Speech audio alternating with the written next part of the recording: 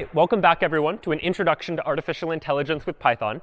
Now, last time we took a look at machine learning, a set of techniques that computers can use in order to take a set of data and learn some patterns inside of that data, learn how to perform a task, even if we, the programmers, didn't give the computer explicit instructions for how to perform that task. Today, we transition to one of the most popular techniques and tools within machine learning, that of neural networks. And neural networks were inspired as early as the 1940s by researchers who were thinking about how it is that humans learn, studying neuroscience in the human brain, and trying to see whether or not we could apply those same ideas to computers as well and model computer learning off of human learning. So how is the brain structured? Well, very simply put, the brain is, consists of a whole bunch of neurons. And those neurons are connected to one another and communicate with one another in some way. In particular, if you think about the structure of a biological neural network, something like this, there are a couple of key properties that scientists observed. Uh, one was that these neurons are connected to each other and receive electrical signals from one another, that one neuron can propagate electrical signals to another neuron. And another point is that neurons process those input signals and then can be activated, that a neuron becomes activated at a certain point and then can propagate further signals onto neurons in the future. And so the question then became, could we take this biological idea of how it is that humans learn with brains and with neurons and apply that to a machine as well, in effect designing an artificial neural network, or an ANN, which will be a mathematical model for learning that is inspired by these biological neural networks. And what artificial neural networks will allow us to do is they will first be able to model some sort of mathematical function. Every time you look at a neural network, which we'll see more of later today, each one of them is really just some mathematical function that is mapping certain inputs to particular outputs based on the structure of the network, that depending on where we place particular units inside of this neural network, that's going to determine how it is that the network is going to function. And in particular, artificial neural networks are going to lend themselves to a way that we can learn what the network's parameters should be. We'll see more on that in just a moment. But in effect, we want a model such that it is easy for us to be able to write some code that allows for the network to be able to figure out how to model the right mathematical function given a particular set of input data. So in order to create our artificial neural network, instead of using biological neurons, we're just going to use what we're going to call units. Units inside of a neural network, which we can represent kind of like a node in a graph, which will here be represented just by a blue circle like this. And these artificial units, these artificial neurons, can be connected to one another. So here, for instance, we have two units that are connected by this edge inside of this graph, effectively. And so what we're going to do now is think of this idea as some sort of mapping from inputs to outputs. So we have one unit that is connected to another unit that we might think of this side as the input and that side as the output. And what we're trying to do then is to figure out how to solve a problem, how to model some sort of mathematical function. And this might take the form of something we saw last time, which was something like we have certain inputs, like variables x1 and x2. And given those inputs, we want to perform some sort of task, a task like predicting whether or not it's going to rain. And ideally, we'd like some way, given these inputs, x1 and x2, which stand for some sort of variables to do with the weather, we would like to be able to predict, in this case, a Boolean classification. Is it going to rain or is it not going to rain? And we did this last time by way of a mathematical function. We defined some function, h, for our hypothesis function, that took as input x1 and x2, the two inputs that we cared about processing, in order to determine whether we thought it was going to rain or whether we thought it was not going to rain. The question then becomes, what does this hypothesis function do in order to make that determination? And we decided last time to use a linear combination of these input variables to determine what the output should be. So our hypothesis function was equal to something like this. Weight 0 plus weight 1 times x1 plus weight 2 times x2. So what's going on here is that x1 and x2, those are input variables, the inputs to this hypothesis function. And each of those input variables is being multiplied by some weight, which is just some number. So x1 is being multiplied by weight 1, x2 is being multiplied by weight 2. And we have this additional weight, weight 0, that doesn't get multiplied by an input variable at all, that just serves to either move the function up or move the function's value down. You can think of this as either a weight that's just multiplied by some dummy value, like the number 1, and it's multiplied by 1, and so it's not multiplied by anything. Or sometimes you'll see in the literature, people call this variable weight 0 a bias, so that you can think of these variables as slightly different. We have weights that are multiplied by the input, and we separately add some bias to the result as well. You'll hear both of those terminologies used when people talk about neural networks and machine learning. So in effect, what we've done here is that in order to define a hypothesis function, we just need to decide and figure out what these weights should be to determine what values to multiply by our inputs to get some sort of result. Of course, at the end of this, what we need to do is make some sort of classification, like rainy or not rainy. And to do that, we use some sort of function so that defines some sort of threshold. And so we saw, for instance, the step function, which is defined as 1 if the weight, if the result of multiplying the weights by the inputs is at least 0, otherwise it's 0. Uh, and you can think of this line down the middle as kind of like a dotted line. Effectively, it stays at 0 all the way up to one point, and then the function steps or jumps up to 1. So it's 0 before it reaches some threshold, and then it's 1 after it reaches a particular threshold. And so this was one way we could define what we'll come to call an activation function, a function that determines when it is that this output becomes active, changes to a 1 instead of being a 0. But we also saw that if we didn't just want a purely binary classification, we didn't want purely 1 or 0, but we wanted to allow for some in-between real numbered values, we could use a different function. And there are a number of choices, but the one that we looked at was the logistic sigmoid function that has sort of an S-shaped curve where we could represent this as a probability, that maybe somewhere in between, the probability of rain is something like 0.5. Maybe a little bit later, the probability of rain is 0.8. And so rather than just have a binary classification of 0 or 1, we could allow for numbers that are in between as well. And it turns out there are many other different types of activation functions, where an activation function just takes the output of multiplying the weights together and adding that bias, and then figuring out what the actual output should be. Another popular one is the rectified linear unit, otherwise known as ReLU. Uh, and the way that works is that it just takes its input and takes the maximum of that input and 0. So if it's positive, it remains unchanged. But if it's 0, if it's negative, it goes ahead and levels out at 0. And there are other activation functions that we could choose as well. But in short, each of these activation functions you can just think of as a function that gets applied to the result of all of this computation. We take some function g and apply it to the result of all of that calculation. And this then is what we saw last time, the way of defining some hypothesis function that takes in inputs, calculates some linear combination of those inputs, and then passes it through some sort of activation function to get our output. And this actually turns out to be the model for the simplest of neural networks, that we're going to instead represent this mathematical idea graphically by using a structure like this. Here then is a neural network that has two inputs. We can think of this as x1 and this is x2. And then one output, which you can think of as classifying whether or not we think it's going to rain or not rain, for example, in this particular instance. And so how exactly does this model work? Well, each of these two inputs represents one of our input variables, x1 and x2. And notice that these inputs are connected to this output via these edges, which are going to be defined by their weights. So these edges each have a weight associated with them, weight 1 and weight 2. And then this output unit, what it's going to do is it is going to calculate an output based on those inputs and based on those weights. This output unit is going to multiply all the inputs by their weights, add in this bias term, which you can think of as an extra W0 term that gets added into it, and then we pass it through an activation function. So this then is just a graphical way of representing the same idea we saw last time, just mathematically. And we're going to call this a very simple neural network. And we'd like for this neural network to be able to learn how to calculate some function. That we want some function for the neural network to learn. And the neural network is going to learn what should the values of w0, w1, and w2 be. What should the activation function be in order to get the result that we would expect. So we can actually take a look at an example of this. What then is a very simple function that we might calculate? Well, if we recall back from when we were looking at propositional logic, uh, one of the simplest functions we looked at was something like the OR function that takes two inputs, x and y, and outputs 1, otherwise known as true, if either one of the inputs or both of them are 1, and outputs a 0 if both of the inputs are 0 or false.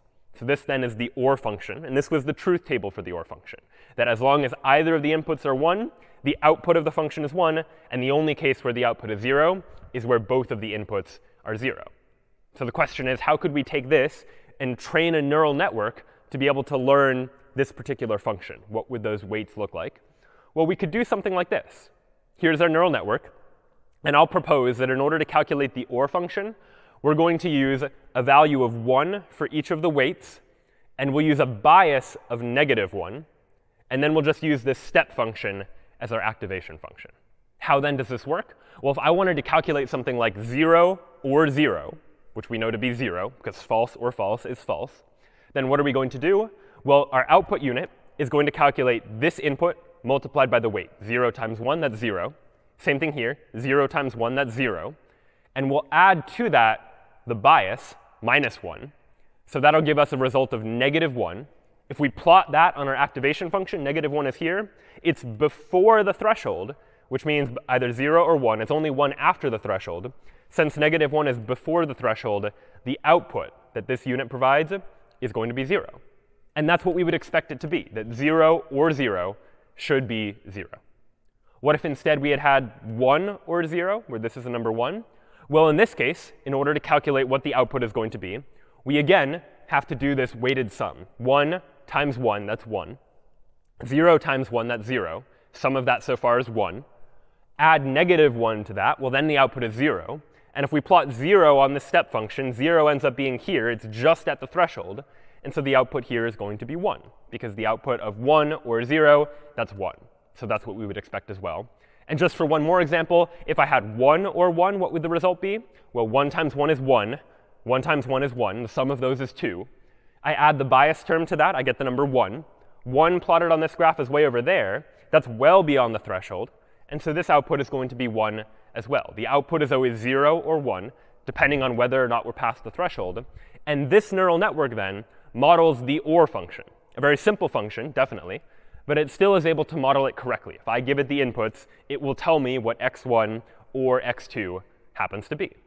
And you could imagine trying to do this for other functions as well. A function like the AND function, for instance, that takes two inputs and calculates uh, whether both x and y are true. So if x is 1 and y is 1, then the output of x and y is 1. But in all the other cases, the output is 0.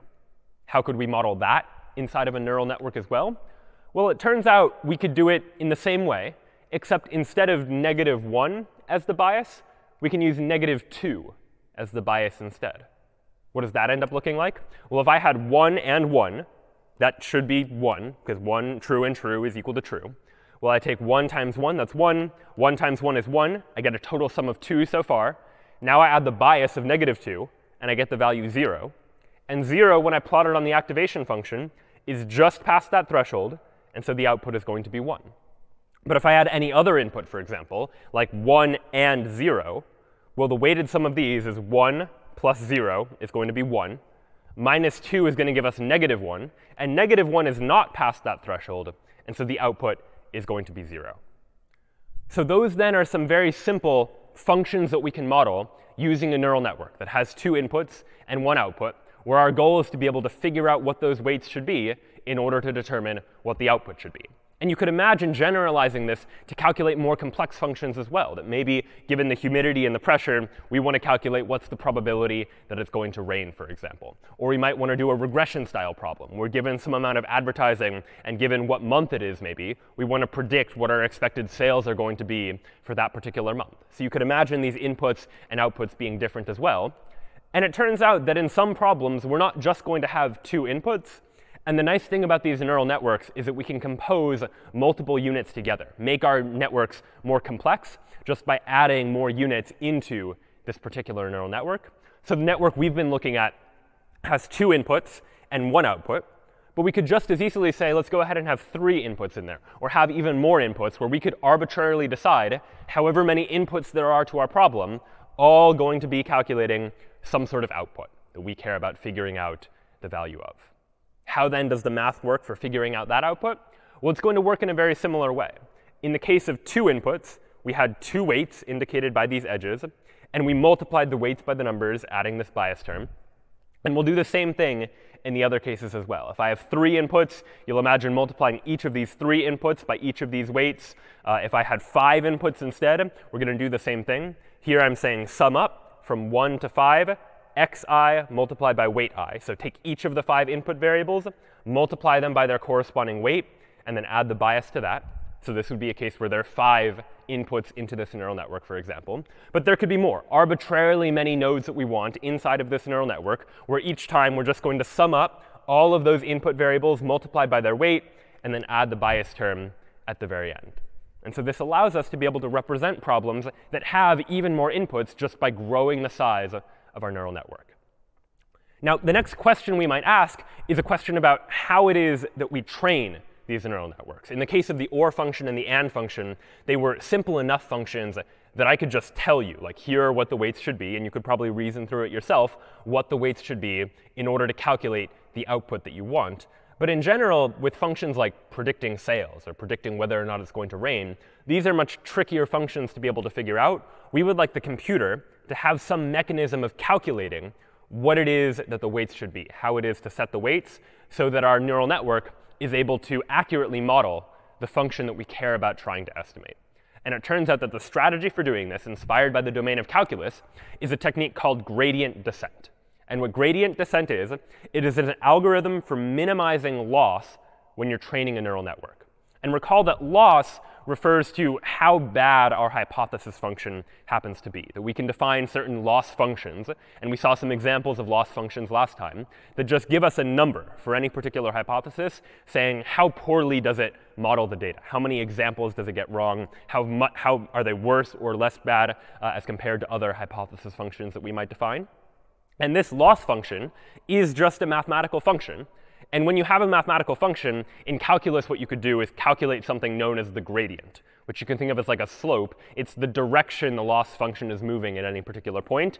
And what it's going to tell us is in which direction should we be moving these weights in order to minimize the amount of loss.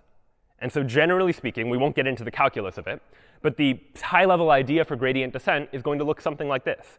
If we want to train a neural network, We'll go ahead and start just by choosing the weights randomly. Just pick random weights for all of the weights in the neural network. And then we'll use the input data that we have access to in order to train the network, in order to figure out what the weights should actually be. So we'll repeat this process again and again. The first step is we're going to calculate the gradient based on all of the data points. So we'll look at all the data and figure out what the gradient is at the place where we currently are for the current setting of the weights, which means in which direction should we move the weights in order to minimize the total amount of loss, in order to make our solution better. And once we've calculated that gradient, which direction we should move in the loss function, well, then we can just update those weights according to the gradient. Take a small step in the direction of those weights in order to try to make our solution a little bit better. And the size of the step that we take, that's going to vary, and you can choose that when you're training a particular neural network. But in short, the idea is going to be take all the data points figure out, based on those data points, in what direction the weights should move, and then move the weights one small step in that direction. And if you repeat that process over and over again, adjusting the weights a little bit at a time based on all the data points, eventually you should end up with a pretty good solution to trying to solve this sort of problem. At least that's what we would hope to happen. Now, as you look at this algorithm, a good question to ask anytime you're analyzing an algorithm is what is going to be the expensive part of doing the calculation. What's going to take a lot of work to try to figure out? What is going to be expensive to calculate? And in particular, in the case of gradient descent, the really expensive part is this all data points part right here. Having to take all of the data points and using all of those data points, figure out what the gradient is at this particular setting of all of the weights. Because odds are in a big machine learning problem where you're trying to solve a big problem with a lot of data, you have a lot of data points in order to calculate. And figuring out the gradient based on all of those data points is going to be expensive. And you'll have to do it many times. You'll likely repeat this process again and again and again, going through all the data points, taking one small step over and over as you try and figure out what the optimal setting of those weights happens to be.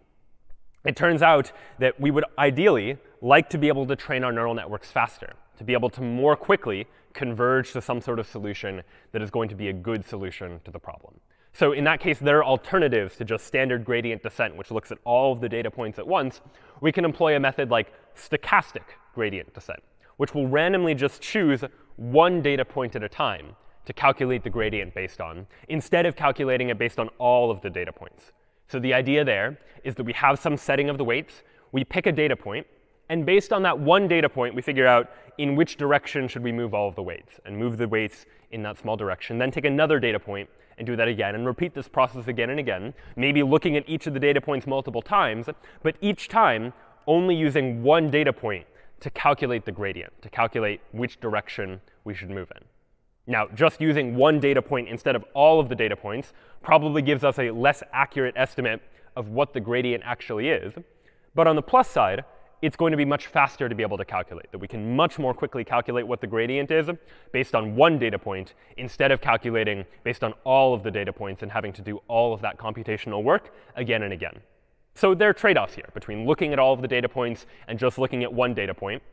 And it turns out that a middle ground that is also quite popular is a technique called mini-batch gradient descent where the idea there is instead of looking at all of the data versus just a single point, we instead divide our data set up into small batches, groups of data points, where you can decide how big a particular batch is. But in short, you're just going to look at a small number of points at any given time, hopefully getting a more accurate estimate of the gradient, but also not requiring all of the computational effort needed to look at every single one of these data points. So gradient descent, then, is this technique that we can use in order to train these neural networks, in order to figure out what the setting of all of these weights should be if we want some way to try and get an accurate notion of how it is that this function should work, some way of modeling how to transform the inputs into particular outputs. Now, so far, the networks that we've taken a look at have all been structured similar to this. We have some number of inputs, maybe two or three or five or more, and then we have one output that is just predicting like rain or no rain, or just predicting one particular value. But often in machine learning problems, we don't just care about one output. We might care about an output that has multiple different values associated with it. So in the same way that we could take a neural network and add units to the input layer, we can likewise add input or add outputs to the output layer as well. Instead of just one output, you could imagine we have two outputs. Or we could have like four outputs, for example, where in each case, as we add more inputs or add more outputs, if we want to keep this network fully connected between these two layers, we just need to add more weights. That now each of these input nodes has four weights associated with each of the four outputs. And that's true for each of these various different input nodes. So as we add nodes, we add more weights in order to make sure that each of the inputs can somehow be connected to each of the outputs so that each output value can be calculated based on what the value of the input happens to be. So what might a case be where we want multiple different output values? Well, you might consider that in the case of weather predicting, for example, we might not just care whether it's raining or not raining. There might be multiple different categories of weather that we would like to categorize the weather into. With just a single output variable, we can do a binary classification, like rain or no rain, for instance, 1 or 0. But it doesn't allow us to do much more than that. With multiple output variables, I might be able to use each one to predict something a little different. Maybe I want to categorize the weather into one of four different categories, something like is it going to be raining or sunny or cloudy or snowy. And I now have four output variables that can be used to represent maybe the probability that it is rainy as opposed to sunny, as opposed to cloudy, or as opposed to snowy. How then would this neural network work? Well, we have some input variables that represent some data that we have collected about the weather. Each of those inputs gets multiplied by each of these various different weights. So we have more multiplications to do, but these are fairly quick mathematical operations to perform. And then what we get is after passing them through some sort of activation function in the outputs, we end up getting some sort of number where that number, you might imagine, you could interpret as like a probability, like a probability that it is one category as opposed to another category. So here we're saying that based on the inputs, we think there is a 10% chance that it's raining, a 60% chance that it's sunny, a 20% chance that it's cloudy, a 10% chance that it's snowy. And given that output, if these represent like a probability distribution, well, then you could just pick whichever one has the highest value, in this case sunny, and say that, well, most likely, we think that this categorization uh, the inputs means that the output should be snowy, and that, or should be sunny, and that is what we would expect the weather to be in this particular instance. And so this allows us to do these sort of multi-class classifications, where instead of just having a binary classification, 1 or 0, we can have as many different categories as we want, and we can have our neural network output these probabilities over which categories are most, more likely than other categories. And using that data, we're able to draw some sort of inference on what it is that we should do. So this was sort of the idea of supervised machine learning. I can give this neural network a whole bunch of data, a whole bunch of input data corresponding to some label, some output data, like we know that it was raining on this day, we know that it was sunny on that day. And using all of that data, the algorithm can use gradient descent to figure out what all of the weights should be in order to create some sort of model that hopefully allows us a way to predict what we think the weather is going to be. But neural networks have a lot of other applications as well. You could imagine applying the same sort of idea to a reinforcement learning sort of example as well, where you remember that in reinforcement learning, what we wanted to do is train some sort of agent to learn what action to take depending on what state they currently happen to be in. So depending on the current state of the world, we wanted the agent to pick from one of the available actions that is available to them. And you might model that by having each of these input variables represent some information about the state, some data about what state our agent is currently in. And then the output, for example, could be each of the various different actions that our agent could take, action 1, 2, 3, and 4. And you might imagine that this network would work in the same way. That based on these particular inputs, we go ahead and calculate values for each of these outputs. And those outputs could model which action is better than other actions. And we could just choose, based on looking at those outputs, which action should we should take. And so these neural networks are very broadly applicable, that all they're really doing is modeling some mathematical function. So anything that we can frame as a mathematical function, something like classifying inputs into various different categories, or figuring out based on some input state what action we should take, these are all mathematical functions that we could attempt to model by taking advantage of this neural network structure, and in particular, taking advantage of this technique, gradient descent, that we can use in order to figure out what the weights should be in order to do this sort of calculation. Now, how is it that you would go about training a neural network that has multiple outputs instead of just one? Well, with just a single output, we could see what the output for that value should be. And then you update all of the weights that corresponded to it. And when we have multiple outputs, at least in this particular case, we can really think of this as four separate neural networks. That really we just have one network here that has these three inputs corresponding with these three weights corresponding to this one output value. And the same thing is true for this output value. This output value effectively defines yet another neural network that has these same three inputs, but a different set of weights that correspond to this output. And likewise, this output has its own set of weights as well, and same thing for the fourth output too. And so if you wanted to train a neural network that had four outputs instead of just one, in this case, where the inputs are directly connected to the outputs, you could really think of this as just training four independent neural networks. We know what the outputs for each of these four should be based on our input data.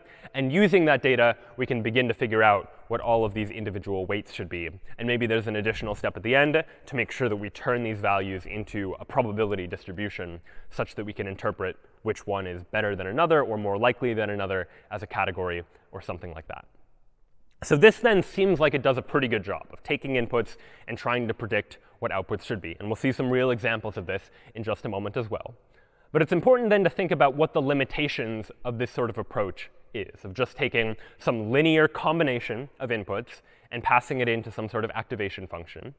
And it turns out that when we do this in the case of binary classification, of trying to predict, like, does it belong to one category or another, uh, we can only predict things that are linearly separable. Because we're taking a linear combination of inputs and using that to define some decision boundary or threshold, then what we get is a situation where if we have this set of data, we can predict like a line that separates linearly the red points from the blue points.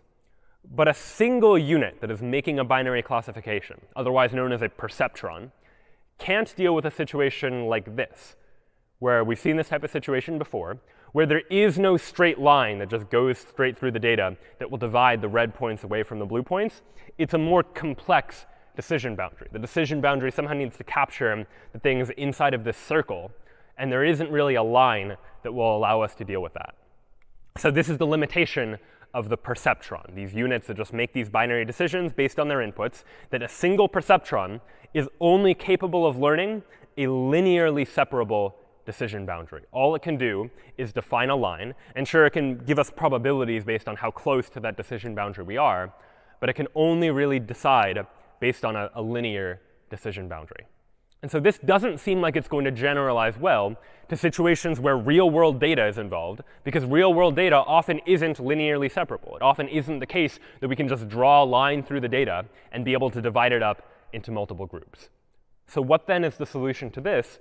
Well, what was proposed was the idea of a multi-layer neural network. That so far, all of the neural networks we've seen have had a set of inputs and a set of outputs, and the inputs are connected to those outputs. But in a multi-layer neural network, this is going to be an artificial neural network that has an input layer still, it has an output layer, but also has one or more hidden layers in between, other layers of artificial neurons or units that are going to calculate their own values as well. So instead of a neural network that looks like this, with three inputs and one output, you might imagine in the middle here injecting a hidden layer, something like this. This is a hidden layer that has four nodes. You could choose how many nodes or units end up going into the hidden layer. You can have multiple hidden layers as well. And so now each of these inputs isn't directly connected to the output. Each of the inputs is connected to this hidden layer. And then all of the nodes in the hidden layer, those are connected to the one output. And so this is just another step that we can take towards calculating more complex functions. Each of these hidden units will calculate its output value, otherwise known as its activation, based on a linear combination of all the inputs. And once we have values for all of these nodes, as opposed to this just being the output, we do the same thing again. Calculate the output for this node based on multiplying each of the values for these units by their weights as well. So in effect, the way this works is that we start with inputs. They get multiplied by weights in order to calculate values for the hidden nodes. Those get multiplied by weights in order to figure out what the ultimate output is going to be. And the advantage of layering things like this is it gives us an ability to model more complex functions. That instead of just having a single decision boundary, a single line dividing the red points from the blue points, each of these hidden nodes can learn a different decision boundary. And we can combine those decision boundaries to figure out what the ultimate output is going to be.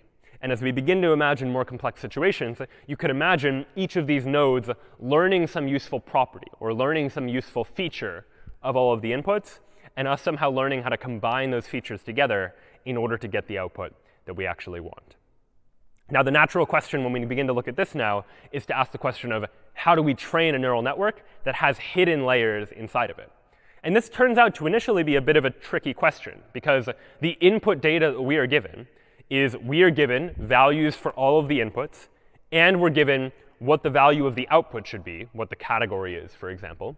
But the input data doesn't tell us what the values for all of these nodes should be. So we don't know how far off each of these nodes actually is, because we're only given data for the inputs and the outputs. The reason this is called a hidden layer is because the data that is made available to us doesn't tell us what the values for all of these intermediate nodes should actually be.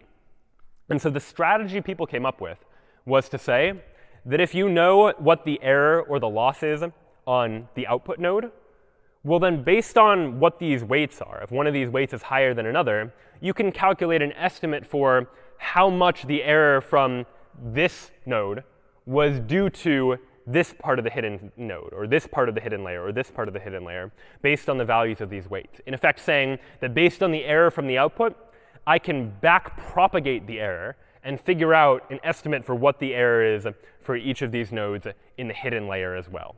And there's some more calculus here that we won't get into the details of, but the idea of this algorithm is known as backpropagation. It's an algorithm for training a neural network with multiple different hidden layers.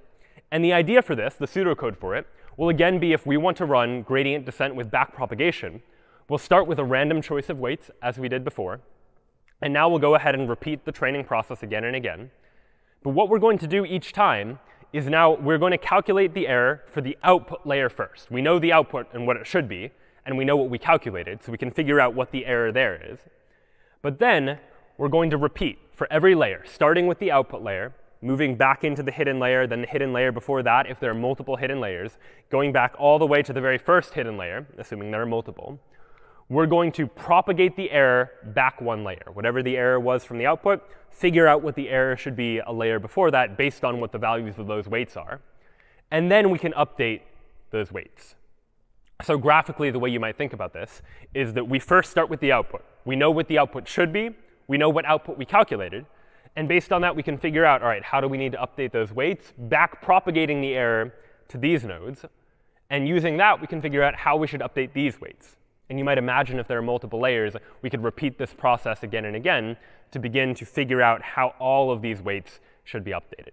And this backpropagation algorithm is really the key algorithm that makes neural networks possible. It makes it possible to take these multi-level structures and be able to train those structures depending on uh, what the values of these weights are in order to figure out how it is that we should go about updating those weights in order to create some function that is able to minimize the total amount of loss, to figure out some good setting of the weights that will take the inputs and translate it into the output that we expect.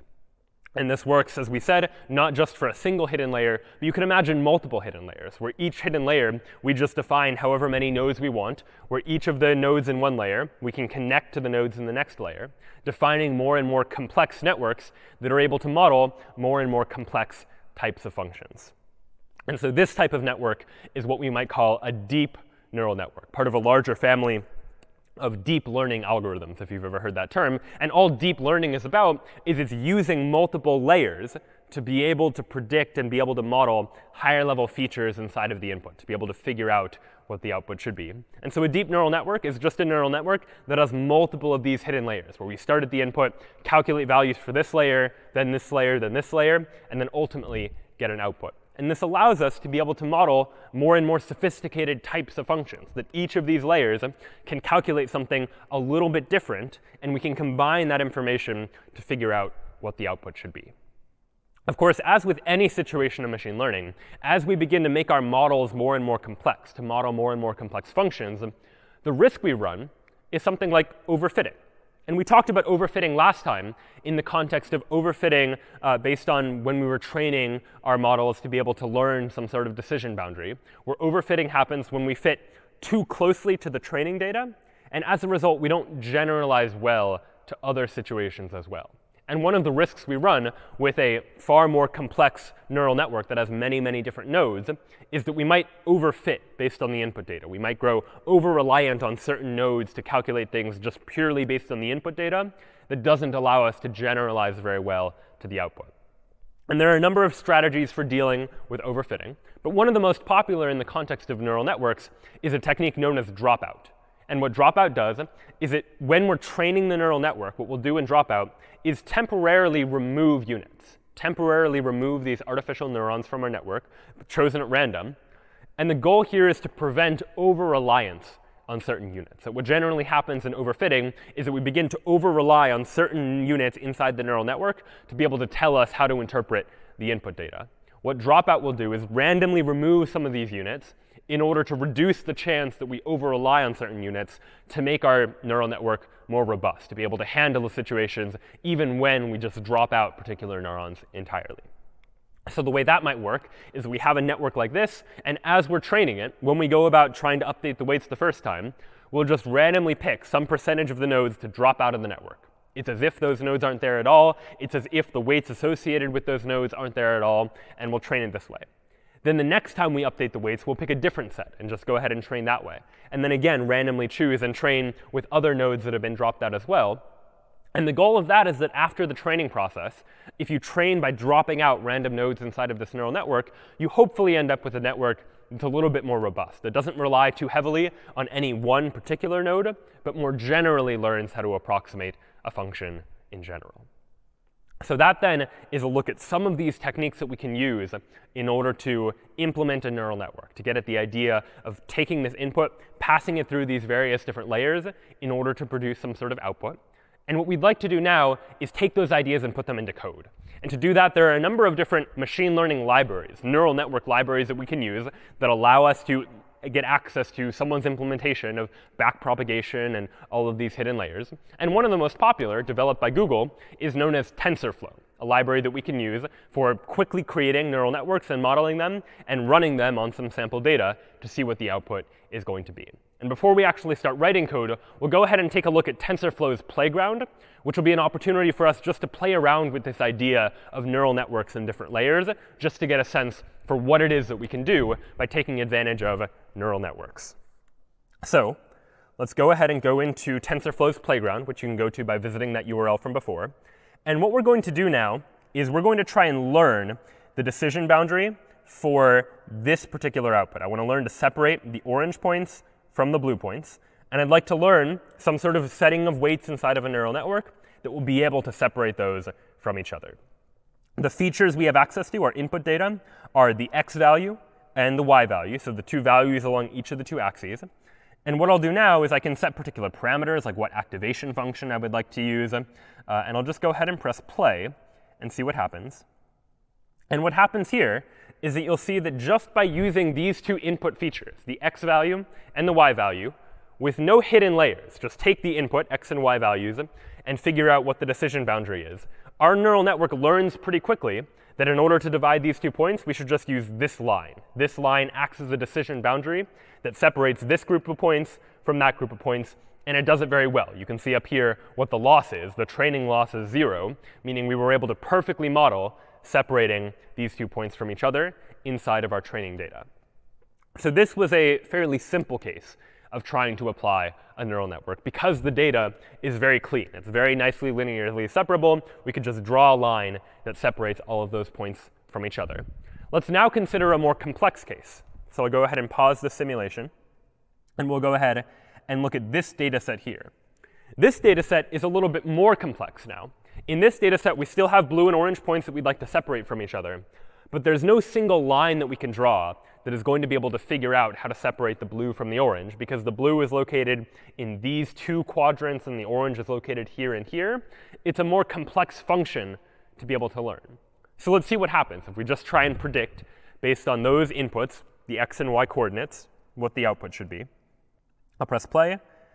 And what you'll notice is that we're not really able to draw much of a conclusion, that we're not able to very cleanly see how we should divide the orange points from the blue points. And you don't see a very clean separation there. So it seems like we don't have enough uh, sophistication inside of our network to be able to model something that is that complex. We need a better model for this neural network. And I'll do that by adding a hidden layer. So now I have a hidden layer that has two neurons inside of it. So I have two inputs that then go to two neurons inside of a hidden layer that then go to our output. And now I'll press play. And what you'll notice here is that we're able to do slightly better. We're able to now say, all right, these points are definitely blue. These points are definitely orange. We're still struggling a little bit with these points up here, though. And what we can do is we can see for each of these hidden neurons, what is it exactly that these hidden neurons are doing? Each hidden neuron is learning its own decision boundary. And we can see what that boundary is. This first neuron is learning, all right, this line that seems to separate some of the blue points from the rest of the points. This other hidden neuron is learning another line that seems to be separating the orange points in the lower right from the rest of the points. So that's why we're able to sort of figure out these two areas in the bottom region. But we're still not able to perfectly classify all of the points. So let's go ahead and add another neuron. Now we've got three neurons inside of our hidden layer and see what we're able to learn now. All right, well, now we seem to be doing a better job. By learning three different decision boundaries, which each of the three neurons inside of our hidden layer, we're able to much better figure out how to separate these blue points from the orange points. And you can see what each of these hidden neurons is learning. Each one is learning a slightly different decision boundary. And then we're combining those decision boundaries together to figure out uh, what the overall output should be. And maybe we can try it one more time by adding a fourth neuron there and try learning that. And it seems like now we can do even better at trying to separate the blue points from the orange points. But we were only able to do this by adding a hidden layer, by adding some layer that is learning some other boundaries and combining those boundaries to determine the output. And the strength, the, the size and thickness of these lines indicate how high these weights are, how important each of these inputs is for making this sort of calculation. And we can do maybe one more simulation. Let's go ahead and try this on a data set that looks like this. Go ahead and get rid of the hidden layer. Here now we're trying to separate the blue points from the orange points, where all the blue points are located, again, inside of a circle effectively. So we're not going to be able to learn a line. Notice I press play, and we're really not able to draw any sort of classification at all, because there is no line that cleanly separates the blue points from the orange points. So let's try to solve this by introducing a hidden layer. I'll go ahead and press play. And all right, with two neurons in a hidden layer, we're able to do a little better because we effectively learn two different decision boundaries. We learn this line here, and we learn this line on the right-hand side. And right now we're just saying, all right, well, if it's in between, we'll call it blue, and if it's outside, we'll call it orange. So not great, but certainly better than before, that we're learning one decision boundary and another. And based on those, we can figure out what the output should be. But let's now go ahead and add a third neuron and see what happens now. I go ahead and train it. And now, using three different decision boundaries that are learned by each of these hidden neurons, we're able to much more accurately model this distinction between blue points and orange points. We're able to figure out, maybe with these three decision boundaries, combining them together, you can imagine figuring out what the output should be and how to make that sort of classification. And so the goal here is just to get a sense for having more neurons in these hidden layers allows us to learn more structure in the data, allows us to figure out what the relevant and important decision boundaries are. And then using this backpropagation algorithm, we're able to figure out what the values of these weights should be in order to train this network to be able to classify one category of points away from another category of points instead. And this is ultimately what we're going to be trying to do whenever we're training a neural network. So let's go ahead and actually see an example of this. You'll recall from last time that we had this banknotes file that included information about counterfeit banknotes as opposed to authentic banknotes, where I had like four different values for uh, each banknote and then a categorization of whether that banknote is considered to be authentic or a counterfeit note. And what I wanted to do was, based on that input information, uh, figure out some function that could calculate based on the input information what category it belonged to. And what I've written here in banknotes.py is a neural network that will learn just that, a network that learns, based on all of the input, whether or not we should categorize a banknote as authentic or as counterfeit. The first step is the same as what we saw from last time. I'm really just reading the data in and getting it into an appropriate format. And so this is where more of the like writing Python code on your own comes in in terms of manipulating this data, massaging the data into a format that will be understood by a machine learning library like scikit-learn or like TensorFlow. And so here I separate it into a training and a testing set. And now what I'm doing down below is I'm creating a neural network. Here I'm using TF, which stands for TensorFlow. Up above, I said import TensorFlow as TF. TF just an abbreviation that we'll often use, so we don't need to write out TensorFlow every time we want to use anything inside of the library. I'm using tf.keras. Keras is an API, a set of functions that we can use in order to uh, manipulate uh, neural networks inside of TensorFlow. And it turns out there are other uh, machine learning libraries that also use the Keras API. But here I'm saying, all right, go ahead and give me a model that is a sequential model, a sequential neural network, meaning one layer after another. And now I'm going to add to that model what layers I want inside of my neural network. So here I'm saying model.add. Go ahead and add a dense layer. And when we say a dense layer, we mean a layer that is just uh, each of the nodes inside of the layer is going to be connected to each of the nodes from the previous layer. So we have a densely connected layer. This layer is going to have eight units inside of it. So it's going to be a hidden layer inside of a neural network with eight different units, eight artificial neurons, each of which might learn something different. And I just sort of chose eight arbitrarily. You could choose a different number of hidden layer, hidden nodes inside of the layer. And if we, as we saw before, depending on the number of units there are inside of your hidden layer, more units means you can learn more complex functions. So maybe you can more accurately model the training data. But it comes at the cost. More units means more weights that you need to figure out how to update, so it might be more expensive to do that calculation. And you also run the risk of overfitting on the data. If you have too many units and you learn to just overfit on the training data, that's not good either. So there is a balance, and there's often a testing process where you'll train on some data and maybe validate how well you're doing on a separate set of data, often called a validation set, to see, all right, which setting of parameters, how many layers should I have, how many units should be in each layer, which one of those performs the best on the validation set.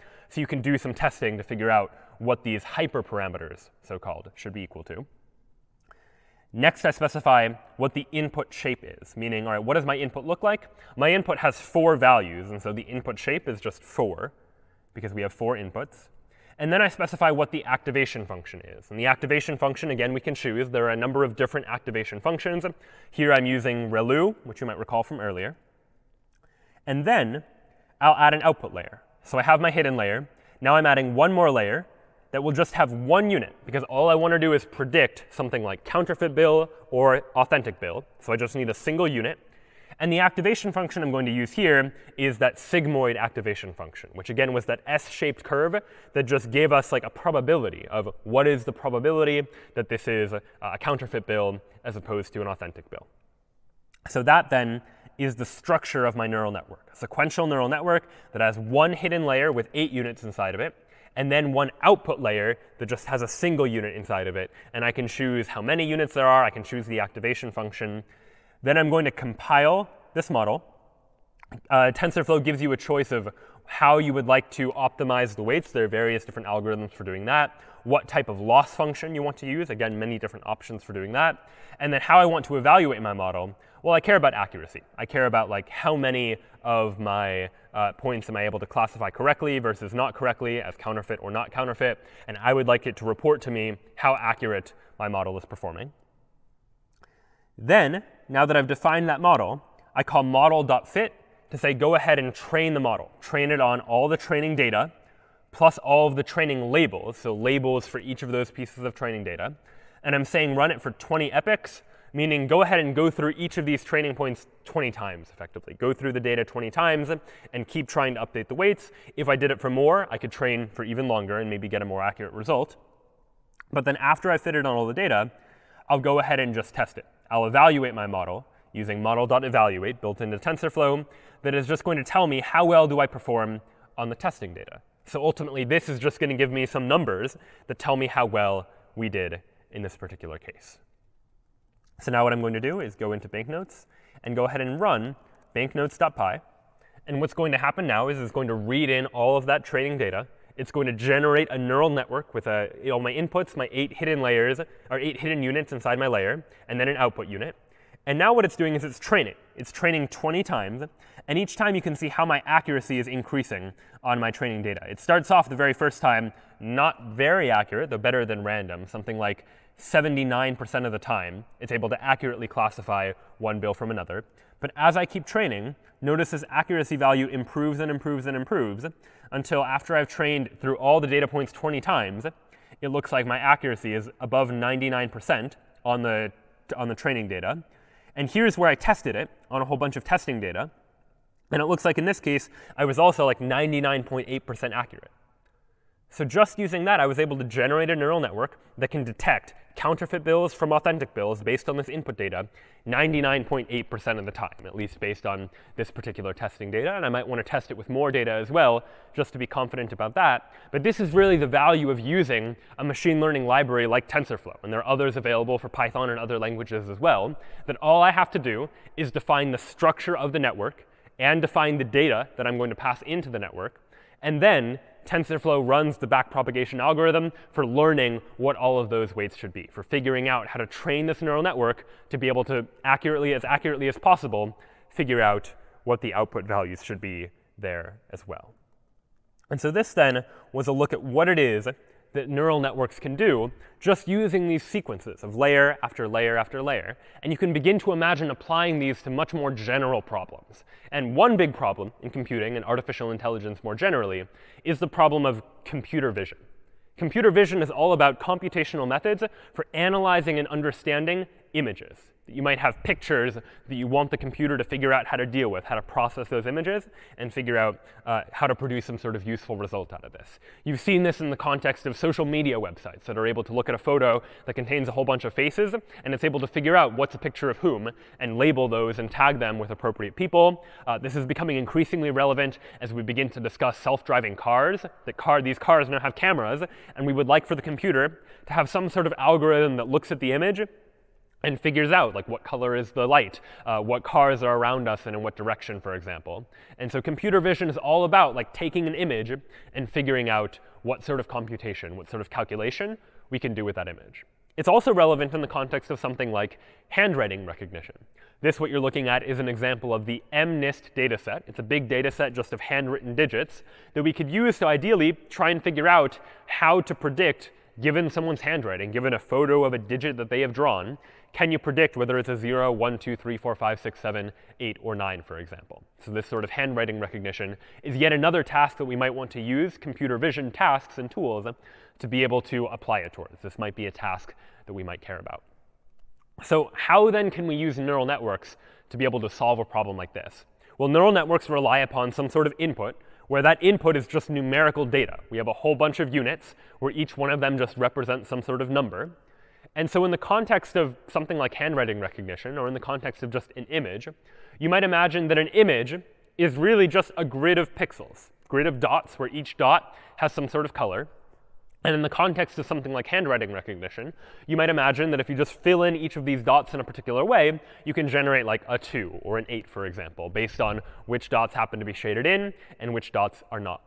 And we can represent each of these pixel values just using numbers. So for a particular pixel, for example, 0 might represent entirely black, uh, depending on how you're representing color, it's often common to represent color values on a 0 to 255 range so that you can represent a color uh, using 8 bits for a particular value, like how much white is in the image.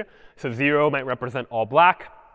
255 might represent entirely white as a pixel, and somewhere in between might represent some shade of gray, for example.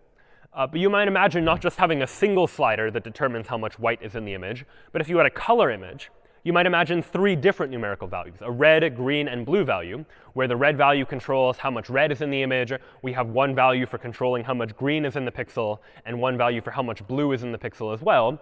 And depending on how it is that you set these values of red, green, and blue, you can get a different color. And so any pixel can really be represented in this case by three numerical values, a red value, a green value, and a blue value.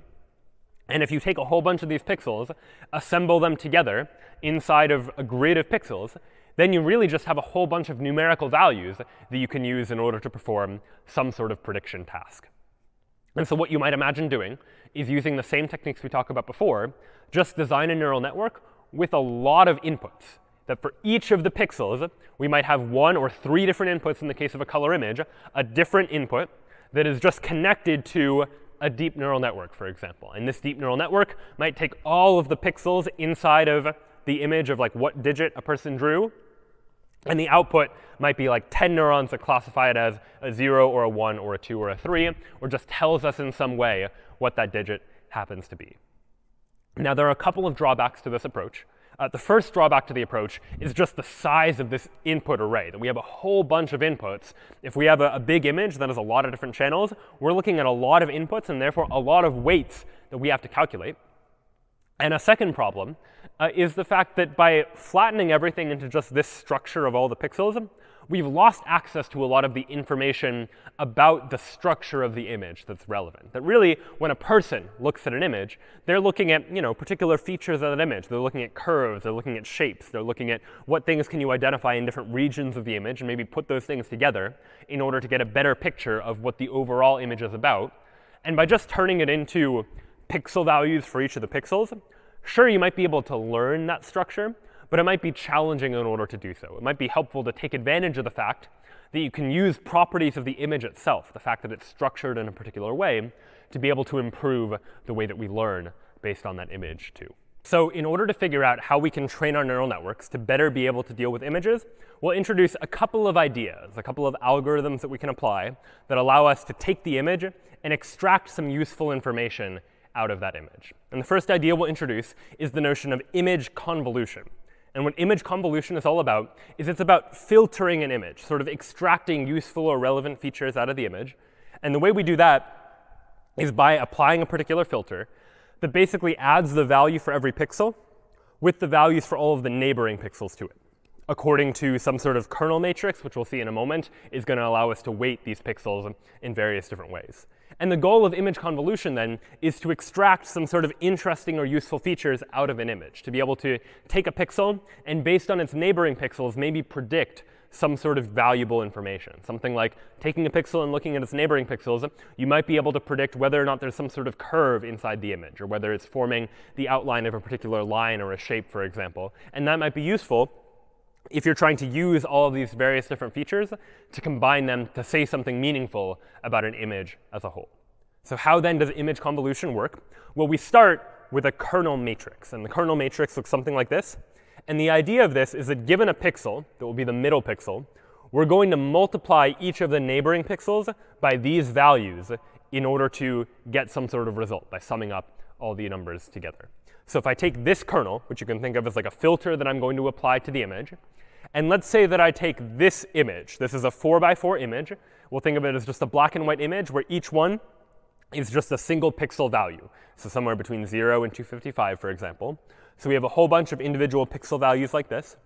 And what I'd like to do is apply this kernel, this filter, so to speak, to this image. And the way I'll do that is, all right, the kernel is 3 by 3. You can imagine a 5 by 5 kernel or a larger kernel too. And I'll take it and just first apply it to the first 3 by 3 section of the image. And what I'll do is I'll take each of these pixel values, multiply it by its corresponding value in the filter matrix, and add all of the results together. So here, for example, I'll say 10 times 0 uh, plus 20 times negative 1 plus 30 times 0, so on and so forth, doing all of this calculation. And at the end, if I take all these values, multiply them by their corresponding value in the kernel, add the results together, for this particular set of 9 pixels, I get the value of 10, for example. And then what I'll do is I'll slide this 3 by 3 grid effectively over, slide the kernel by 1 to look at the next 3 by 3 section. And here I'm just sliding it over by one pixel, but you might imagine a different stride length where maybe I jump by multiple pixels at a time if you really wanted to. You have different options here. But here I'm just sliding over, looking at the next 3 by 3 section, and I'll do the same math. 20 times 0 plus 30 times negative 1 plus 40 times 0 plus 20 times negative 1, so on and so forth, plus 30 times 5. And what I end up getting is the number 20. Then you can imagine shifting over to this one, doing the same thing, calculating like the number 40, for example, and then doing the same thing here and calculating a value there as well. And so what we have now is what we'll call like a, a feature map. We have taken this kernel, applied it to each of these various different regions, and what we get is some representation of like a filtered version of that image. And so to give a more concrete example of why it is that this kind of thing could be useful, let's take this kernel matrix, for example, which is quite a famous one, that has an 8 in the middle, and then all of the neighboring pixels get a negative 1. And let's imagine we wanted to apply that to a 3 by 3 part of an image that looks like this, where all of the values are the same. They're all 20, for instance. Well, in this case, if you do 20 times 8 and then subtract 20, subtract 20, subtract 20 for each of the 8 neighbors, well, the result of that is you just get that expression, which comes out to be 0. You multiplied 20 by 8, but then you subtracted 20 eight times according to that particular kernel. The result of all of that is just 0. So the takeaway here is that when a lot of the pixels are the same value, we end up getting a value close to 0. If, though, we had something like this, 20s along this first row, then 50s in the second row, and 50s in the third row, well, then when you do this same kind of math, 20 times negative 1, 20 times negative 1, so on and so forth, then I get a higher value, a value like 90 in this particular case. And so the more general idea here is that by applying this kernel, negative 1s, 8 in the middle, and then negative 1s, what I get is when this middle value is very different from the neighboring values, like 50 is greater than these 20s, then you'll end up with a, a, value higher than 0. Like if this number is higher than its neighbors, you end up getting a bigger output. But if this, neighbor is this, value is the same as all of its neighbors, then you get a lower output, something like 0. And it turns out that this sort of filter can therefore be used in something like detecting edges in an image. If I want to detect like the boundaries between various different objects inside of an image, I might use a filter like this, which is able to tell whether the value of this pixel is different from the values of the neighboring pixels, if it's like greater than the values of the pixels that happen to surround it. And so we can use this in terms of image filtering. And so I'll show you an example of that. I have here uh, in filter.py a file that uses Python's image library, or PIL, um, to do some Im image filtering. I go ahead and open an image, and then all I'm going to do is apply a kernel to that image. It's going to be a 3 by 3 kernel, same kind of kernel we saw before. And here is the kernel. This is just a list representation of the same matrix that I showed you a moment ago. It's negative 1, negative 1, negative 1. The second row is negative 1, 8, negative 1. And the third row is all negative 1s. And then at the end, I'm going to go ahead and show the filtered image. So if, for example, I go into uh, convolution directory, and I open up an image like bridge.png, this is what an input image might look like, just an image of a, a bridge over a river. Now I'm going to go ahead and run this filter program on the bridge. And what I get is this image here. Just by taking the original image and applying that filter to each 3 by 3 grid, I've extracted all of the boundaries, all of the edges inside the image that separate one part of the image from another. So here I've got a representation of boundaries between particular parts of the image. And you might imagine that if a machine learning algorithm is trying to learn like what an image is of, a filter like this could be pretty useful. That maybe the, the, the machine learning algorithm doesn't care about all of the details of the image. It just cares about certain useful features. It cares about particular shapes that are able to help it determine that based on the image, this is going to be a bridge, for example. And so this type of idea of image convolution can allow us to apply filters to images that allow us to extract useful results out of those images. Taking an image and extracting its edges, for example, and you might imagine many other filters that could be applied to an image that are able to extract particular values as well. And a filter might have separate kernels for the red values, the green values, and the blue values that are all summed together at the end, such that you could have particular filters looking for, is there red in this part of the image? Are there green in other parts of the image? You can begin to assemble these relevant and useful filters that are able to do these calculations as well. So that then was the idea of image convolution, applying some sort of filter to an image to be able to extract some useful features out of that image. But all the while, these images are still pretty big. Like there's a lot of pixels involved in the image.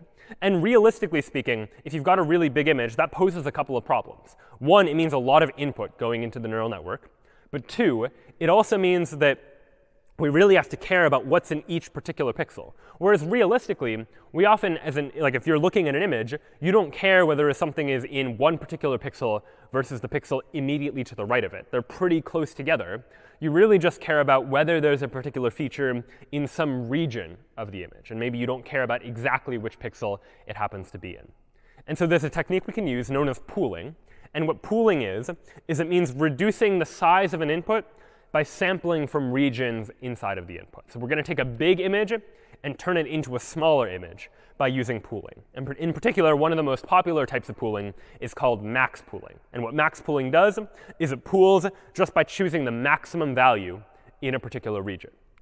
So for example, let's imagine I had this 4 by 4 image, but I wanted to reduce its dimensions. I wanted to make it a smaller image so that I have fewer inputs to work with. Well, what I could do is I could apply a 2 by 2 max pool, where the idea would be that I'm going to first look at this 2 by 2 region and say, what is the maximum value in that region? Well, it's the number 50. So we'll go ahead and just use the number 50.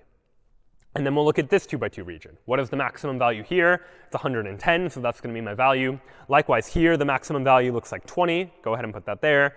Then for this last region, the maximum value is 40. So we'll go ahead and use that. And what I have now is a smaller representation of this same original image that I obtained just by picking, picking the maximum value from each of these regions. So again, the advantages here are now I only have to deal with a 2 by 2 input instead of a 4 by 4. And you could imagine shrinking the size of an image even more. But in addition to that, I'm now able to make my analysis um, independent of whether a particular value was in this pixel or this pixel. Like I don't care if the 50 was here or here. As long as it was generally in this region, I'll still get access to that value. So it makes our algorithms a little bit more robust as well. So that then is pooling, taking the size of the image, reducing it a little bit by just sampling from particular regions inside of the image. And now we can put all of these ideas together, pooling, image convolution, and neural networks all together into another type of neural network called a convolutional neural network, or a CNN, which is a neural network that uses this convolution step, usually in the context of analyzing an image, for example. And so the way that a convolutional neural network works is that we start with some sort of input image, some grid of pixels.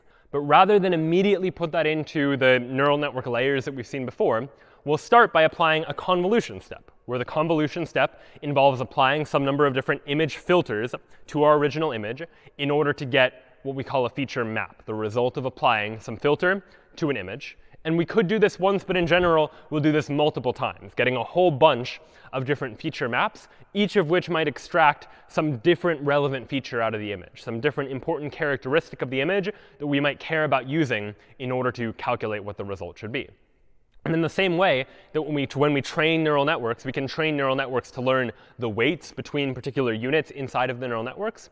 We can also train neural networks to learn what those filters should be, what the values of the filters should be in order to get the most useful, most relevant information out of the original image just by figuring out what setting of those filter values, the values inside of that kernel, results in minimizing the loss function, minimizing how poorly our hypothesis actually performs in figuring out the classification of a particular image, for example.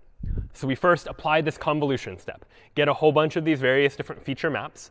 But these feature maps are quite large, right? There's a lot of pixel values that happen to be here.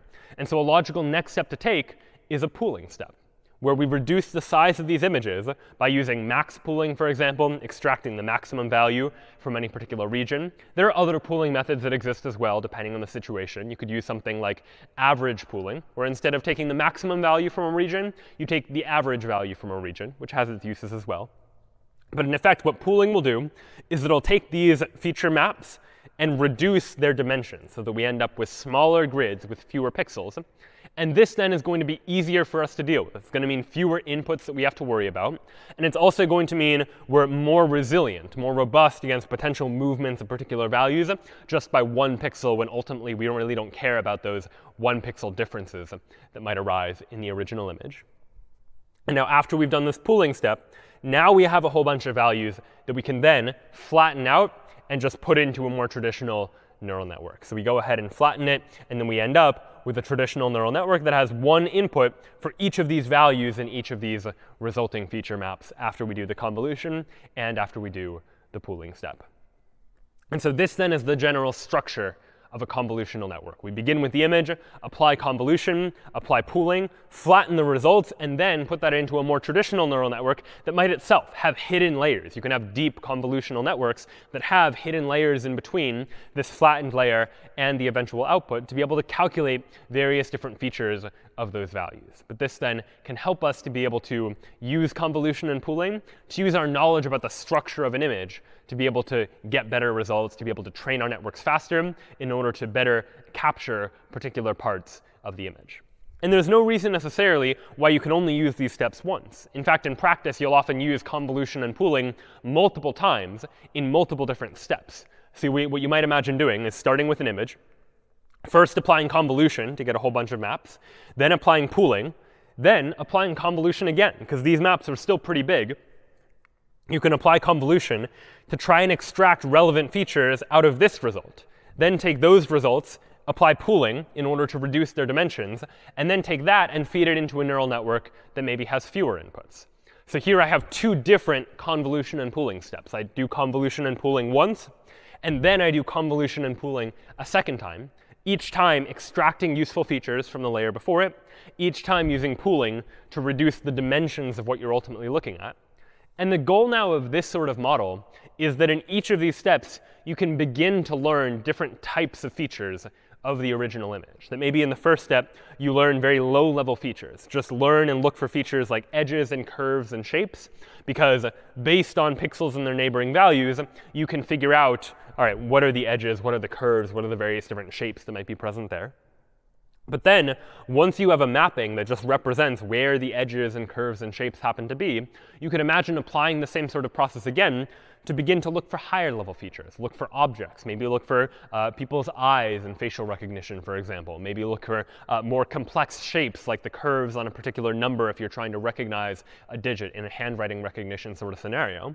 And then after all of that, now that you have these results that represent these higher level features, you can pass them into a neural network, which is really just a deep neural network that looks like this, where you might imagine making a binary classification or classifying into multiple categories or performing various different tasks on this sort of model. So convolutional neural networks can be quite powerful and quite popular when it comes towards trying to analyze images. We don't strictly need them. We could have just used a vanilla neural network that just uh, operates with layer after layer, as we've seen before. But these convolutional neural networks can be quite helpful, in particular because of the way they model the way a human might look at an image. That instead of a human looking at every single pixel simultaneously and trying to convolve all of them by multiplying them together, you might imagine that what convolution is really doing is looking at various different regions of the image and extracting relevant information and features out of those parts of the image. The same way that a human might have visual receptors that are looking at particular parts of what they see and using those, combining them to figure out what meaning they can draw from all of those various different inputs. And so you might imagine applying this to a situation like handwriting recognition. So we'll go ahead and see an example of that now, where I'll go ahead and open up handwriting.py. Again, what we do here is we first import TensorFlow. And then TensorFlow, it turns out, has a few data sets that are built in, built into the library that you can just immediately access. And one of the most famous data sets in machine learning is the MNIST data set, which is just a data set of a whole bunch of samples of people's handwritten digits. I showed you a slide of that a little while ago. And what we can do is just immediately access that data set, which is built into the library, so that if I want to do something like train on a whole bunch of handwritten digits, I can just use the data set that is provided to me. Of course, if I had my own data set of handwritten images, I could apply the same idea. I'd first just need to take those images and turn them into like an array of pixels, because that's the way that these are going to be formatted. They're going to be formatted as effectively an array of individual pixels. Now there's a bit of reshaping I need to do, just turning the data into a format that I can put into my convolutional neural network. So this is doing things like uh, taking all the values and dividing them by 255. If you remember, these color values tend to range from 0 to 255. So I can divide them by 255 just to put them into 0 to 1 range, which might be a little bit easier to train on. Uh, and then doing various other modifications to the data just to get it into a nice usable format. But here's the interesting and important part. Here is where I create the convolutional neural network, the CNN, where here I'm saying go ahead and use a sequential model. And before I could use model.add to say add a layer, add a layer, add a layer, another way I could define it is just by passing as input to this sequential neural network a list of all of the layers that I want. And so here, the very first layer in my model is a convolution layer, where I'm first going to apply convolution to my image. I'm going to use 13 different filters. So my model is going to learn, thir uh, 32 rather, 32 different filters that I would like to learn on the input image, where each filter is going to be a 3 by 3 kernel. So we saw those 3 by 3 kernels before, where we could multiply each value in a 3 by 3 grid by a value, multiply and add all the results together. So here I'm going to learn 32 different of these 3 by 3 filters. I can again specify my activation function, and I specify what my input shape is. My input shape in the banknotes case was just 4. I had four inputs. My input shape here is going to be 28, comma 28, comma 1, because uh, for each of these handwritten digits, it turns out that the MNIST dataset organizes their data. Uh, each image is a 28 by 28 pixel grid. So we're going to have a 28 by 28 pixel grid. Uh, and each one of those images only has one channel value. These handwritten digits are just black and white, so there's just a single color value representing how much black or how much white. You might imagine that in a color image, if you were doing this sort of thing, you might have three different channels, a red, a green, and a blue channel, for example. But in the case of just handwriting recognition, recognizing a digit, we're just going to use a single value for like shaded in or not shaded in. And it might range, but it's just a single color value. And that then is the very first layer of our neural network, a convolutional layer that will take the input and learn a whole bunch of different filters that we can apply to the input to extract meaningful features. Next step is going to be a max pooling layer, also built right into TensorFlow, where this is going to be a layer that is going to use a pool size of 2 by 2, meaning we're going to look at 2 by 2 regions inside of the image and just extract the maximum value. Again, we've seen why this can be helpful. It'll help to reduce the size of our input. Once we've done that, we'll go ahead and flatten all of the units just into a, a single layer that we can then pass into the rest of the neural network. And now, here's the rest of the neural network. Here I'm saying, let's add a hidden layer to my neural network with 128 units, so a whole bunch of hidden units inside of the hidden layer. And just to prevent overfitting, I can add a dropout to that. Say, you know what, when you're training, randomly drop out half of the nodes from this hidden layer, just to make sure we don't become over-reliant on any particular node. We begin to really generalize and stop ourselves from overfitting. So TensorFlow allows us, just by adding a single line, to add dropout into our model as well, such that when it's training, it will perform this dropout step uh, in order to help make sure that we don't overfit on this particular data. And then finally, I add an output layer. The output layer is going to have 10 units, one for each uh, category that I would like to classify digits into, so 0 through 9, 10 different categories. Uh, and the activation function I'm going to use here is called the softmax activation function. And in short, what the softmax activation function is going to do is it's going to take the output and turn it into a probability distribution. So ultimately, it's going to tell me, like, what did we estimate the probability is that this is a 2 versus a 3 versus a 4. And so it will turn it into that probability distribution for me. Next up, I'll go ahead and compile my model and fit it on all of my training data. And then I can evaluate how well the neural network performs. Uh, and then I've added to my Python program, if I've provided a command line argument, like the name of a file, I'm going to go ahead and save the model to a file. And so this can be quite useful too. Once you've done the training step, which could take some time in terms of taking all the time, going through the data, running back propagation uh, with gradient descent to be able to say, all right, uh, how should we adjust the weights of this particular model? You end up calculating values for these weights, calculating values for these filters. You'd like to remember that information so you can use it later. And so TensorFlow allows us to just save a model to a file such that later, if we want to use the model we've learned, use the weights that we've learned to make some sort of new prediction, we can just use the model that already exists. So what we're doing here is after we've done all the calculation, we go ahead and uh, save the model to a file such that we can use it a little bit later. So for example, if I go into, uh, go into digits, I'm going to run handwriting.py. Uh, I won't save it this time. We'll just run it and go ahead and see what happens what will happen is we need to go through the model in order to train on all of these samples of handwritten digits. So the MNIST dataset gives us thousands and thousands of sample handwritten digits in this same format that we can use in order to train. And so now what you're seeing is this training process. And unlike the banknotes case where there was much, few, much fewer data points, uh, the data was very, very simple, here this data is more complex, and this training process takes time. And so this is another one of those cases where when training neural networks, this is why computational power is so important that oftentimes you see people wanting to use uh, sophisticated GPUs in order to more efficiently be able to do this sort of neural network training. It also speaks to the reason why more data can be helpful. The more sample data points you have, the better you can begin to do this training. So here we're going through 60,000 different samples of handwritten digits.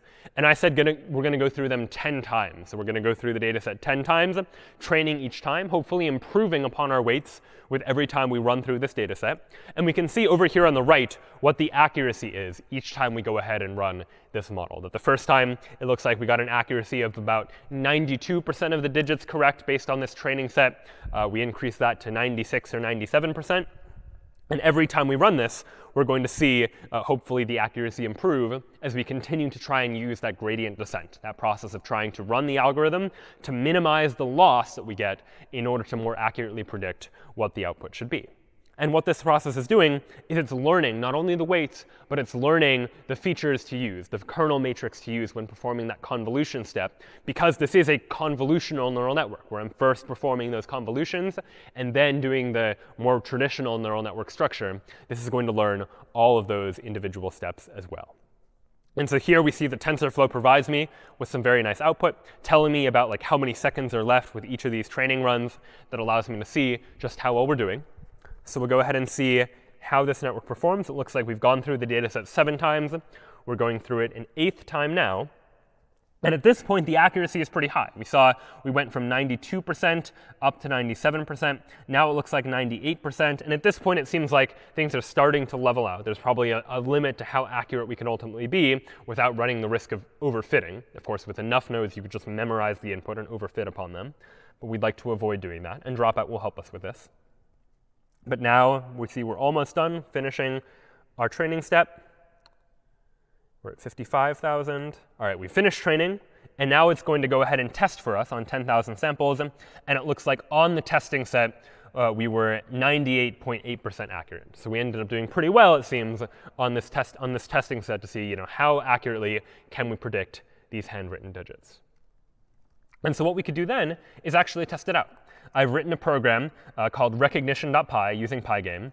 Uh, if you pass it a model that's been trained, and I pre-trained an example model uh, using this input data, what we can do is see whether or not we've been able to train this convolutional neural network to be able to uh, predict handwriting, for example. So I can try just like drawing a handwritten digit. I'll go ahead and draw like the number 2, for example. So there's my number two. Again, this is messy. If you tried to imagine how would you write a program with just like ifs and thens to be able to do this sort of calculation, it would be tricky to do so. But here I'll press classify, and all right, it seems it was able to correctly classify that what I drew was the number two. I'll go ahead and reset it, try it again. We'll draw like an 8, for example. So here is an 8. I'll press classify, and all right, it predicts that the digit that I drew was an 8. And the key here is this really begins to show the power of what the neural network is doing. Somehow looking at various different features of these different pixels, figuring out what the relevant features are, and figuring out how to combine them to get a classification. And this would be a difficult task to provide explicit instructions to the computer on how to do, like to use a whole bunch of if-thens to process all of these pixel values to figure out what the handwritten digit is. Like everyone's going to draw their eights a little bit differently. If I drew the eight again, it would look a little bit different. And yet ideally, we want to train a network to be robust enough so that it begins to learn these patterns on its own. All I said was here is the structure of the network, and here is the data on which to train the network. And the network learning algorithm just tries to figure out what is the optimal set of weights, what is the optimal set of filters to use in order to be able to accurately classify a digit into one category or another. Just going to show the power of these sorts of convolutional neural networks.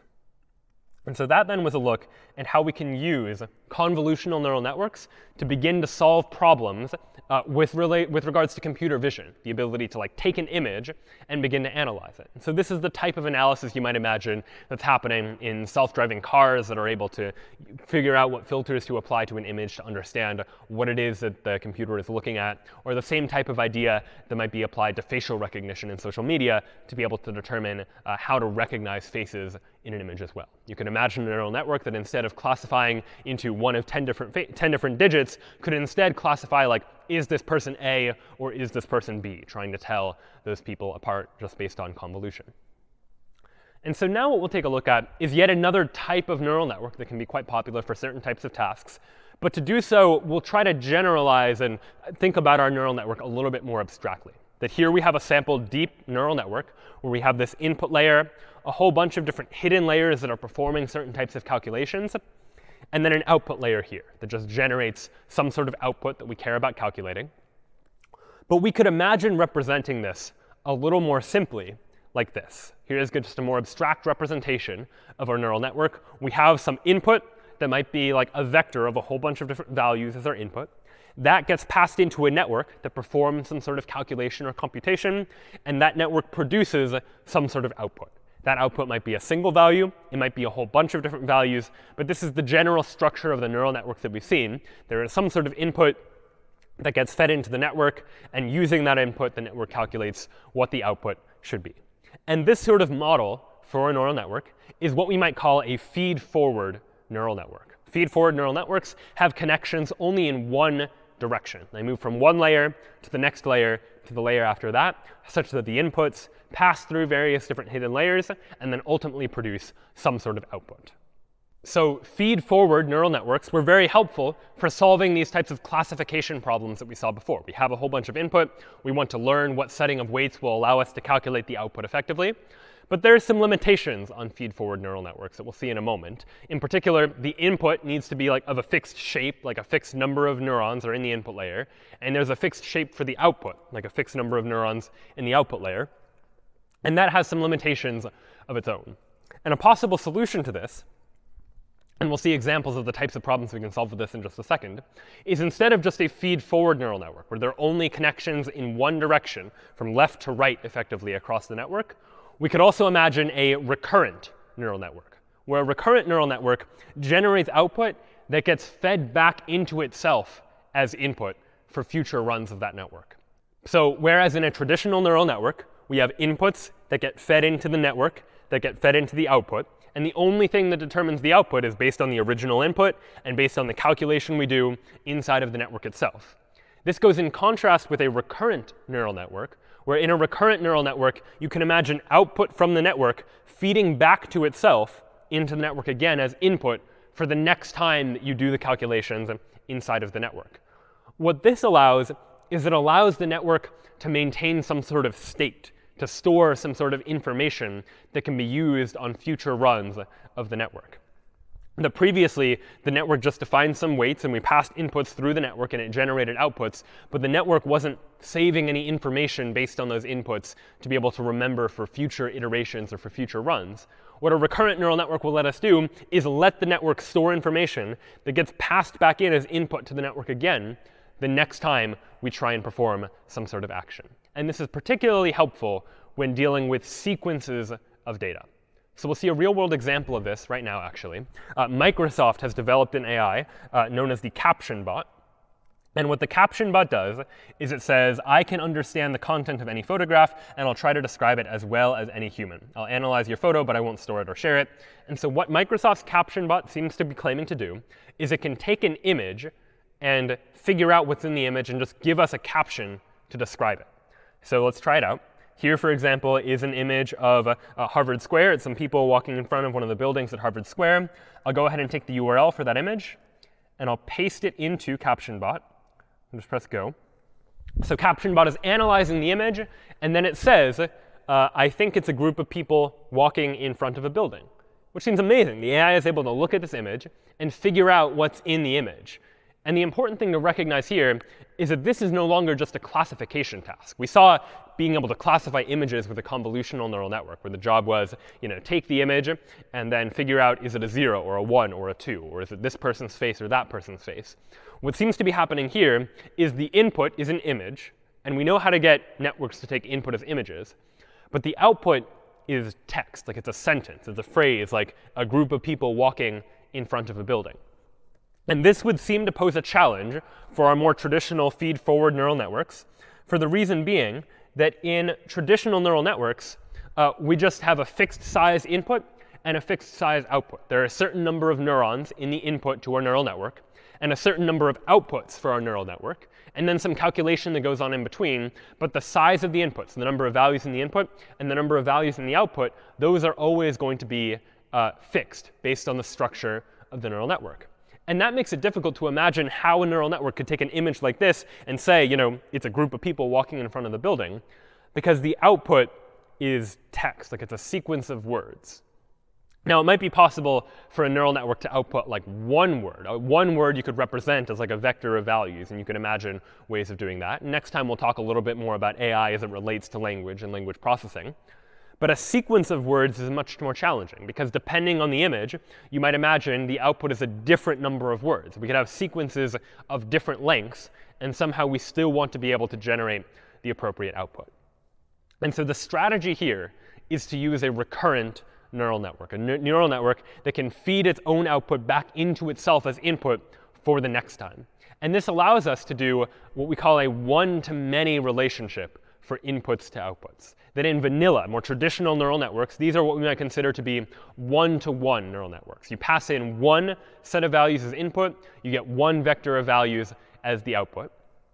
But in this case, we want to pass in one value as input, the image, and we want to get a sequence, many values as output, where each value is like one of these words that gets produced by this particular algorithm. And so the way we might do this is we might imagine starting by providing input, the image, into our neural network. And the neural network is going to generate output, but the output is not going to be the whole sequence of words, because we can't represent the whole sequence of words using just a fixed set of neurons. Instead, the output is just going to be the first word. We're going to train the network to output what the first word of the caption should be. And you could imagine that Microsoft has trained this by running a whole bunch of training samples through the AI, giving it a whole bunch of pictures and what the appropriate caption was, and having the AI begin to learn from that. But now, because the network generates output that can be fed back into itself, you could imagine the output of the network being fed back into the same network. This here looks like a separate network, but it's really the same network that's just getting different input. That this network's output gets fed back into itself, but it's going to generate another output. And that other output is going to be like the second word in the caption. And this recurrent neural network then is this network is going to generate other output that can be fed back into itself to generate yet another word, fed back into itself to generate another word. And so recurrent neural networks allow us to represent this sort of one-to-many structure. You provide one image as input, and the neural network can pass data into the next run of the network, and then again and again, such that you could run the network multiple times, each time generating a different output, still based on that original input. And this is where recurrent neural networks become particularly useful when dealing with sequences of inputs or outputs. And my output is a sequence of words. And since I can't very easily represent outputting an entire sequence of words, I'll instead output that sequence one word at a time by allowing my network to pass information about what still needs to be said about the photo into the next stage of running the network. So you could run the network multiple times, the same network with the same weights, just getting different input each time First, getting input from the image, and then getting input from the network itself as additional information about what additionally needs to be given in a particular caption, for example. So this then is a one-to-many relationship inside of a recurrent neural network. But it turns out there are other models that we can use, other ways we can try and use recurrent neural networks to be able to represent data that might be stored in other forms as well. We saw how we could use neural networks in order to analyze images in the context of convolutional neural networks that take an image, figure out various different properties of the image, and are able to draw some sort of conclusion based on that. But you might imagine that something like YouTube, they need to be able to do a lot of learning based on video. They need to look through videos to detect if there are like copyright violations, or they need to be able to look through videos to maybe identify what particular uh, items are inside of the video, for example. And video, you might imagine, is much more difficult to put in as input to a neural network, because whereas an image, you could just treat each pixel as a different value, videos are sequences. They're sequences of images, uh, and each sequence might be of different length. And so it might be challenging to represent that entire video as a single vector of values that you could pass in to a neural network. And so here, too, recurrent neural networks can be a valuable solution for trying to solve this type of problem. That instead of just passing in a single input into our neural network, we could pass in the input like one frame at a time, you might imagine. First, taking the first frame of the video, passing it into the network, and then maybe not having the network output anything at all yet. Let it take in another input, and this time pass it into the network, but the network gets information from the last time we provided an input into the network. Then we pass in a third input and then a fourth input, where each time what the network gets is it gets the most recent input, like each frame of the video, but it also gets information the network processed from all of the previous iterations. So on frame number four, you end up getting the input for frame number four, plus information the network has calculated from the first three frames.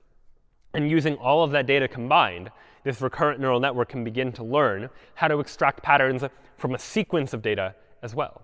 And so you might imagine if you want to classify a video into a number of different genres, like an educational video or a music video or different types of videos, that's a classification task where you want to take as input each of the frames of the video, and you want to output something like what it is, uh, what category that it happens to belong to.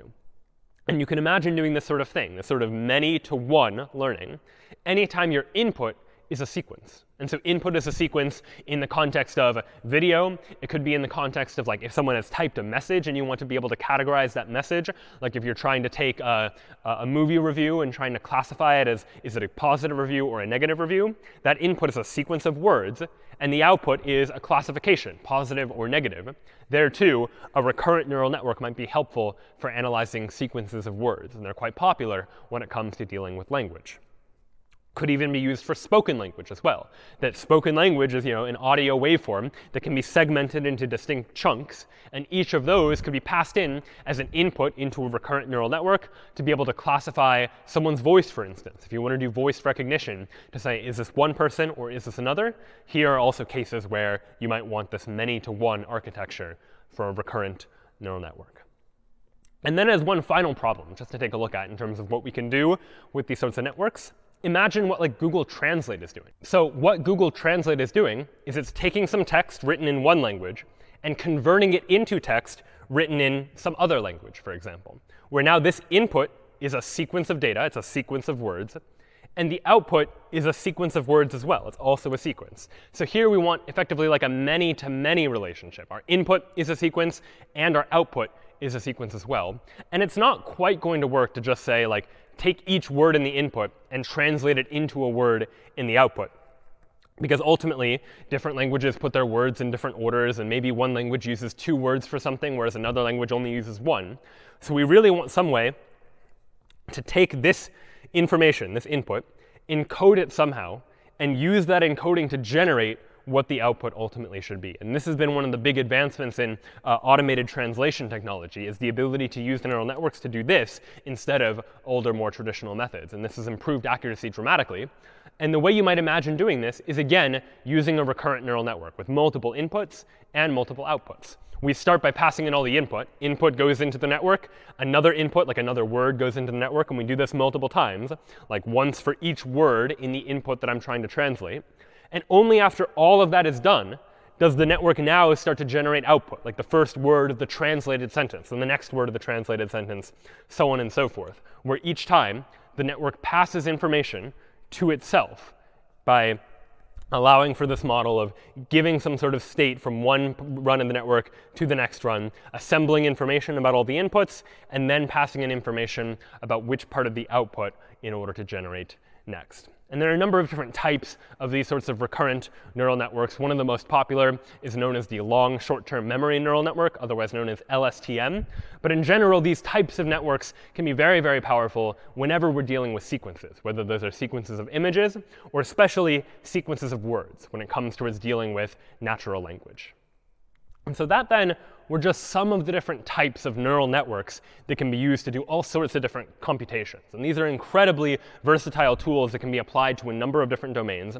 We only looked at a couple of the most popular types of neural networks, more traditional feed-forward neural networks, convolutional neural networks, and recurrent neural networks. But there are other types as well. There are adversarial networks where networks compete with each other to try and uh, be able to generate new types of data, uh, as well as other networks that can solve other tasks based on what they happen to be structured and adapted for. And these are very powerful tools in machine learning for being able to very easily learn based on some set of input data and to be able to therefore figure out how to calculate some function from inputs to outputs, whether it's input to some sort of classification, like analyzing an image and getting a digit, or machine translation, where the input is in one language and the output is in another. These tools have a lot of applications for machine learning more generally. Next time, we'll look at machine learning and AI in particular in the context of natural language. We talked a little bit about this today, but looking at how it is that our AI can begin to understand natural language and can begin to be able to analyze and do useful tasks with regards to human language, which turns out to be a challenging and interesting task. So we'll see you next time.